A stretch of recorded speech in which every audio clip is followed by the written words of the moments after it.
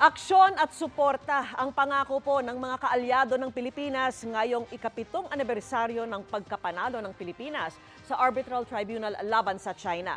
At gamit ang desisyong yan, dapat daw kasuhan muli ang China ayon naman sa isang miyembro ng legal team na nagpanalo sa kaso. At yan po ang sani puwersang tinutukan ni Chino Gaston at Lay Alves.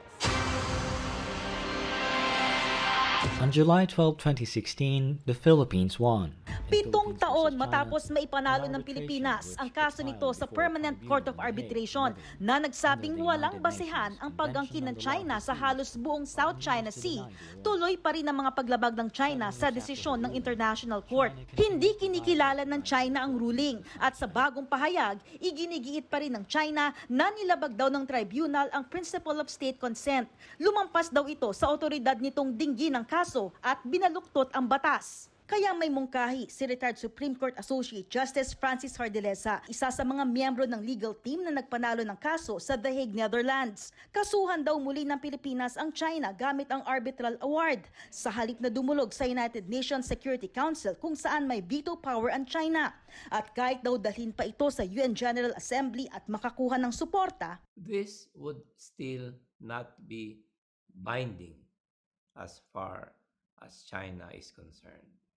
Therefore, I submit that under all the circumstances, another case before another ad hoc tribunal constituted under the UNCLOS or perhaps under the ITLOS, but this time managed and argued solely by the Office of the Solicitor General of the Philippines without the heavy cost of hiring foreign counsel.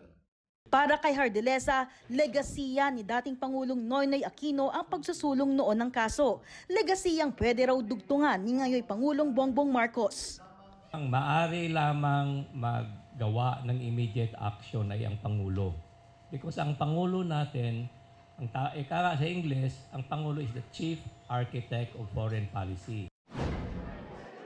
Sa isang hiwalay na pagunita sa desisyon na dinaluhan naman ng mga foreign ambassador sa Pilipinas, binigyang diin ang paglakip ng aksyon sa arbitral ruling. Walking the talk actually means always following through with your actions about what the consequences will be when those international law and rules-based order is broken. Ang pangakong ambag ng iba't ibang bansa, military cooperation at tulong para palakasin ang Philippine Coast Guard, dagdag na mga barkong pandigma na magpapatrolya sa South China Sea. Ang United Kingdom halimbawa magpapadala ng pangalawang carrier strike group sa rehiyon sa 2025. Ang Japan naman naglaan ng higit 2 billion US dollars para palakasin ang mga Coast Guard ng mga kaalyadong bansa sa rehiyon kabilang ang Pilipinas. Habang ang Amerika maglalabas ng higit 5 bilyong piso para sa mga pasilidad sa siyam na EDCA site sa bansa. Pero pagdidiin niya, The goal of EDCA is to strengthen the U.S.-Philippine alliance, which stands on its own and is not focused on any single threat, country, or issue. nagpahayag din ng suporta ang European Union We are one with the Philippines and other international partners in stressing the importance of upholding international law. Kabilang sa aksyong isinusulong naman ng Pilipinas ang pagtatag agad ng ASEAN Code of Conduct sa South China Sea, kakampal ng pagkilala sa panalo ng Pilipinas. It is a telling reminder to the world that the rules-based international order is a great equalizer that levels the playing field between powerful and vulnerable states.